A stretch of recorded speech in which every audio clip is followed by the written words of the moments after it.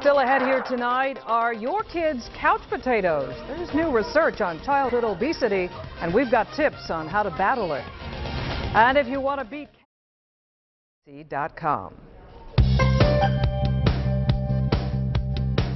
In tonight's Moms Like Me segment, new research shows obesity is just as bad for you or even worse than smoking.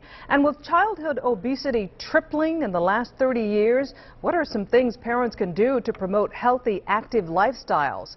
Our Moms Like Me website manager, Jackie Chekarelis, joins me now, and you've got some tips for moms out there. We do. You know, Ramona, the America we live in today is nothing like it was back in the 1950s. Oh, no. No. In fact, uh, we consume about 500 more calories per day than we did 25 years ago.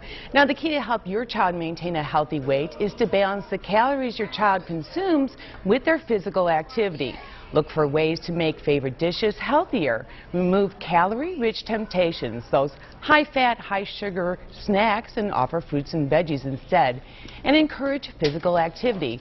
Limit the amount of time your child plays video games or surfs the web, and start them young. Encourage them to be more active by making a game of even the simplest of chores to get them moving.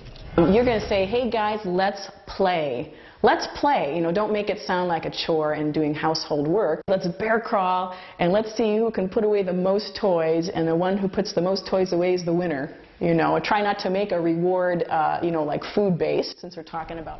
And Moms Like Me is doing its part to help get you and your family out and about and cure the cabin fever. Join MomsLikeMe.com for cabin fever cures. Local moms are posting their favorite winter break activities on the site and planning fun events for the whole family. Now, the first cabin fever cure meetup will be on Saturday, January 23rd for a Lake Erie Monster Game. Log on to MomsLikeMe.com for special tickets ticket prices and more information. And it's tough too, Jackie, because a lot of these places will supersize the meals for kids and offer special on the big meals. Yeah, you really have to be a big consumer and know what your child is eating as mm -hmm. well as mm-hmm. know what you're eating. Yeah, just so you know, right? right. All right, thank you, Jackie. Time to check in on weather right now. AJ is